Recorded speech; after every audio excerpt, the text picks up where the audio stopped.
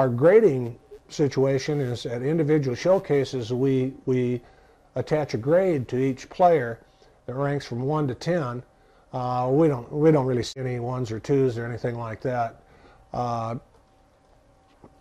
but, uh, you know, I'd say typically the grades go from 5 to 10 for the most part. Uh, there, there's a few that have been lower than that, but, uh, the, you know, the, the 10 is a guy that we think is a potential uh, potential early pick in the draft, one of the first couple of rounds. And nine and a half would just be below that, and nine is a highest level uh, Division One prospect or top ten round type thing uh, pick, and um, so you know it just works its way down.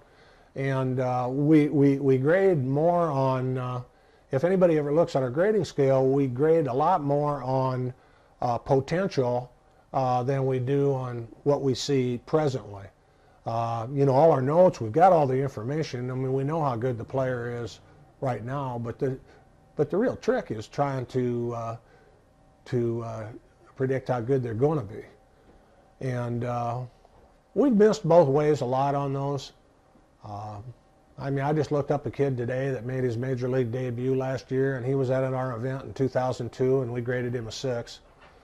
Uh, so you know we were dead wrong. I mean, if we were if we were perfect and accurate every time, I mean obviously he'd be a ten, seeing he played in the major, major leagues.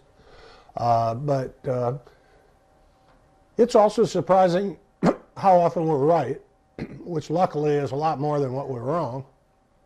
Uh, but uh,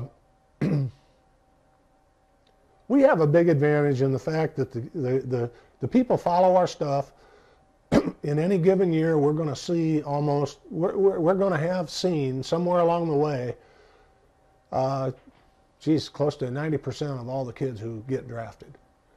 Uh, most of them at our events, sometimes a few of them at other events that we cover, uh, but we're going to see them. And, uh, you know, it's not like we're uh, you know, geniuses or anything. It's just that the more you see these players, the easier it is to evaluate them and compare them to one another. And there's nobody that sees more of them than what we do. So if uh, if nothing else, I mean that's that's probably what's responsible for uh, any accuracy or how well we do things.